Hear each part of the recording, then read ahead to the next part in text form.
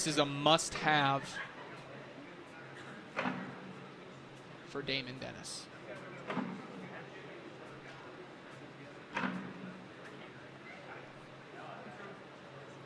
Feel the tension.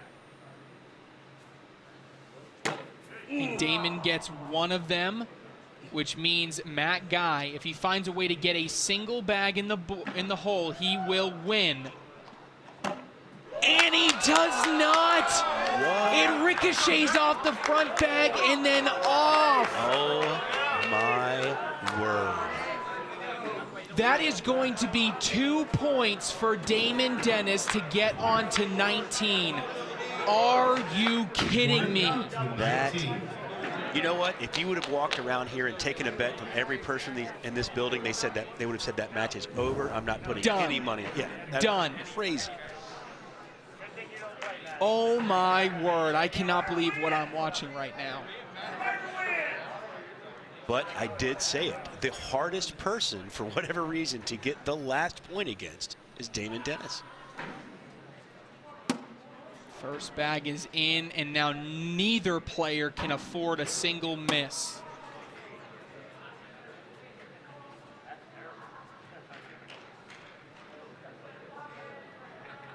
I really don't even know what to say at this point after witnessing that. That bag is in. It just, every bag is just as important as ever.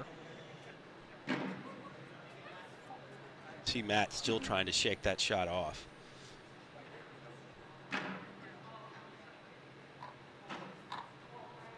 That looked short out of his hand, still found a way in.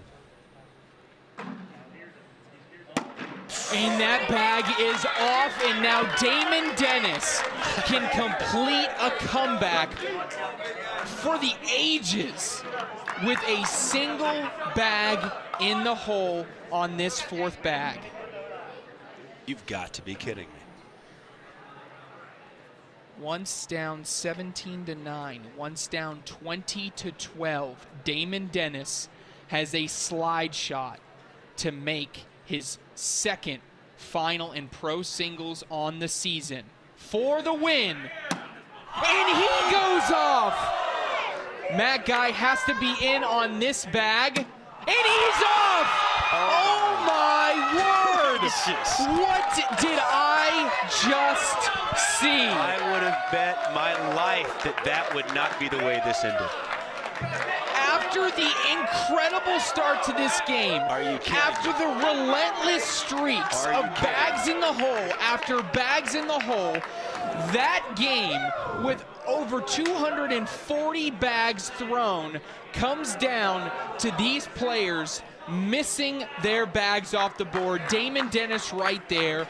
Matt Guy follows it up with oh. one off the board. Tell me these guys don't feel pressure. Bernie, I don't, I am never in my cornhole career have seen an ending like that. Never. Ever.